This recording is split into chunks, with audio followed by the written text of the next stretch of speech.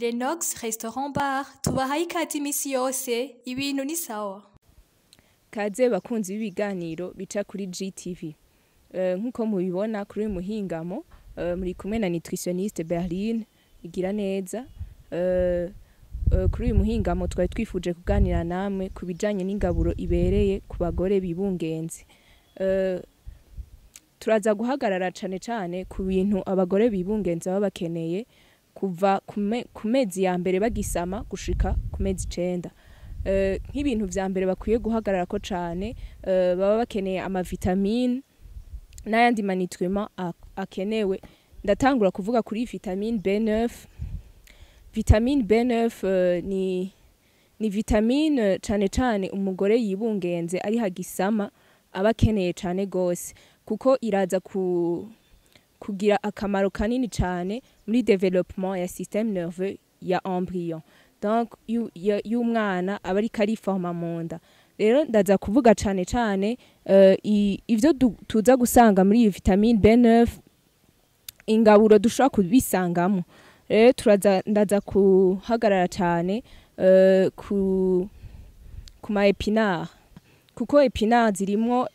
iyi vitamine b9 ku rugezo runiniya cyane ibindi byamwa dushobora gusangamwo iyi vitamine b turaza kubisanga cyane mu matunda eh, ikindi nacyo dushobora gusangamwo iyi vitamine b ni mu nyama eh, gusa ni inyama eh, z'igitigu cy'ibikoko biguruka nk'akarorero nk'inkoko turayisangamo iyo vitamine b ku rugezo runini cyane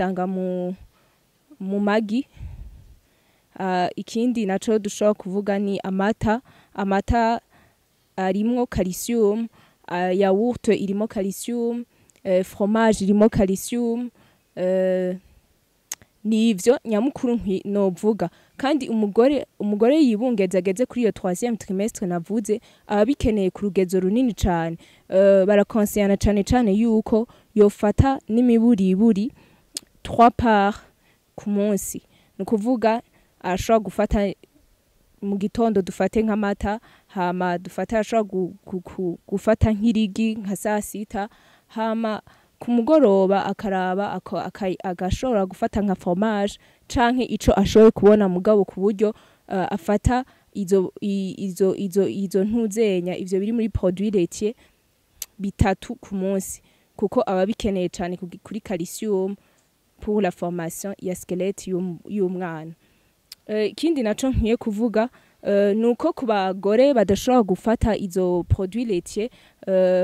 usanga hafise ikibazo cyo kunywa nk'amata cyangwa iki eh, no konseya yuko bozisanga cyane cyane muri soja soja nayo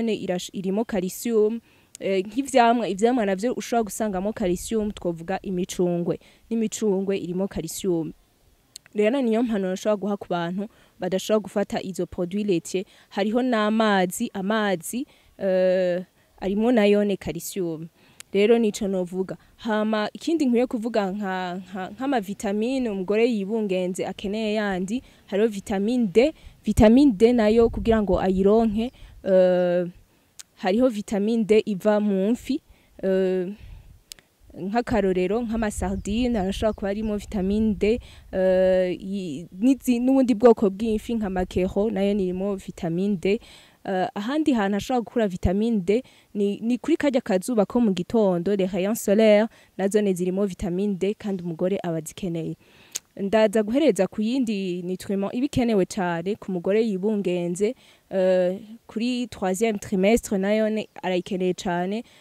eh, ni fer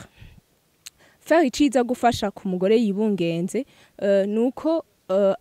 hari igihe ashobora gukama amaraso rero navuga ngo fer iraza gufasha kugira ngo yongerekane eh, yongereze amaraso mu mubiri akenshi barakunze kubona ingorane ku bagore bibungenze ugasanga bagiye kwa muganga bakababwira ko bafite ikibazo cy'amaraso mu mubiri ariko rero nagomba kuvuga yuko iyo umuntu afashe ingabo eh, navuga ngo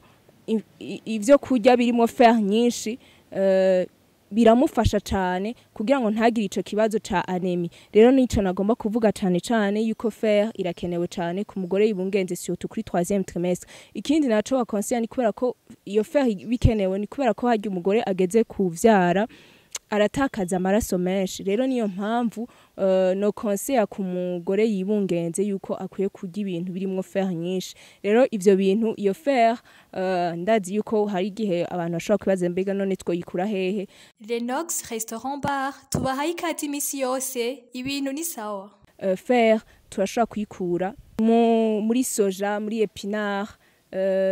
no muri viande rouge nayone irimo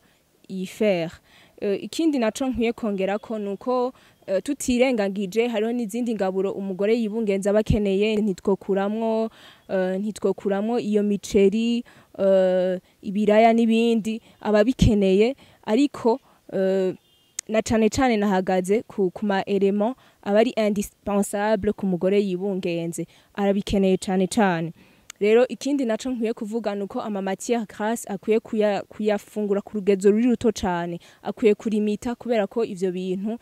bishobora guforma ama graisse mu mubiri wiwe ugasanga hari igihe hariho n'abagira ikibazo ca constipation kuko abagore bibungenze barahura n'ico kibazo cyane cyane ca constipation naco nkabanza kukivuga ko icyo umuntu akwiye gukora mu gihe aba yagize constipation ari umugore yibungenze icyo ntuhanura ku mugore yibungenze eh, iyo yagize constipation cyane cyane icya mbere ni uko yofungura ibintu birimo fibre alimentaire izo fibre alimentaire nagenda avuga imboga eh, imboga zirimo fibre alimentaire nyinshi vraiment rero novuga yuko umugore yibungenze arakeneye fibre alimentaire arakeneye n'ivyamwa bitandukanye eh, kugira ngo bikunde iyo iyo constipation ihave ni ukuvuga agire digestion nziza rero ico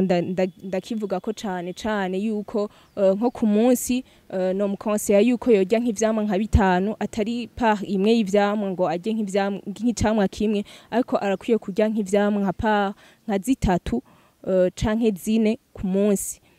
ibyamwa bitandukanye ikindi nacyo akwiye kugira ni ukunywa amazi menshi amazi menshi arafasha ku mugore yibungenze eh, igihe yagize constipation no ku muntu ataba yagize constipation amazi bara eh, novuga yuko aba ari konseye kuko nayo aba yakeneye cyane aba akwiye kongereza ko kuyo aba asanzwe anywa n'imiburiburi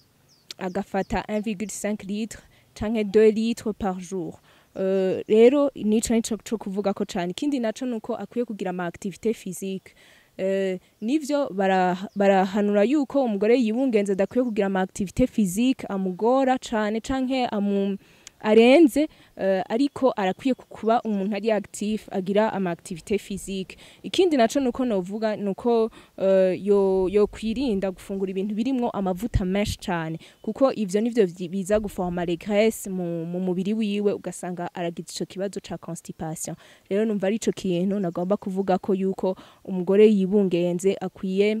eh, akwiye kugira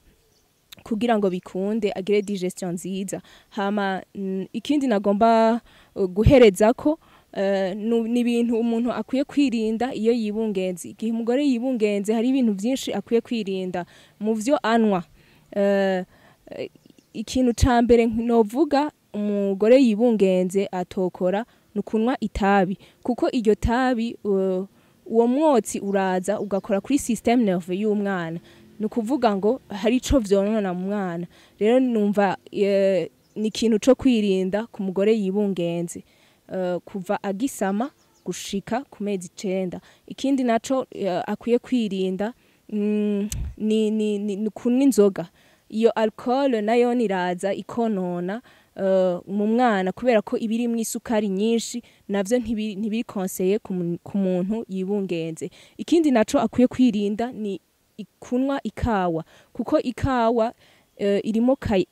eh, kafeyine kafeyine nayo ni nka drogue rero urumva unyoye ikawa ikaza igashika donc mu mwana kuko ico umugore yibungenza afashe kiraza kigashikira umwana nayo urumva ni nka drogue iraza igashikira umwana rero ivyo nivyo umuntu nyamukuru umugore yibungenze akwiye kwirinda kunywa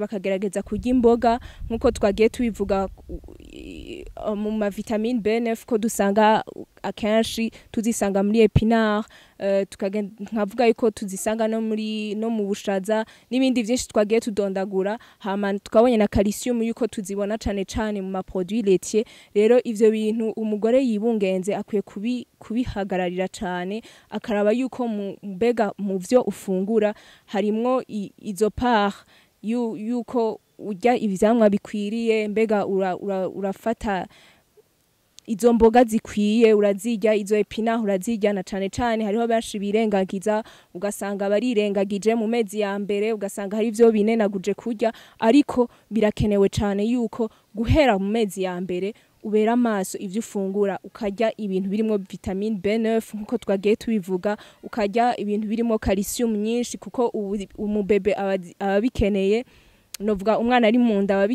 kugira ngo habe formation y'ayo maskelete hama ukagerageza kurya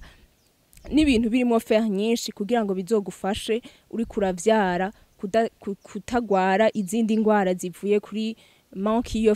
twabonye yuko anemi ishobora kuva kuri manque de fer mu mubiri w'uwo mugore yibungenze rero numva ari icyo kintu eh, ku munsi n'imiburiburi urabe kurya ibyamwa eh, pa zitanu ku munsi hama urabe yuko unywa amata kuba bidakundira gerageza urye soja canke eh, ibindi twagiye tubona birimo amazi arimo calcium na yone mugani o mineral niyo twavuze yuko ushobora gukuramo iyo calcium hama ibindi navyo ni ukuraba ukarya amagi omwa n'imiburi buri ku munsi ugafata deux parts y'amagi nimba rimwe urifata mu gitondo irindi ku mugoroba mugabo ukarifata ugafata ayo magi kuko arimo proteine kandi arimo n'amakalisium aza gufasha umwana rero ivyo umugore yibungenze arakwiye kubibera amaso cane uh, niyo fer urakwiye kuraba yuko ibyo ufungura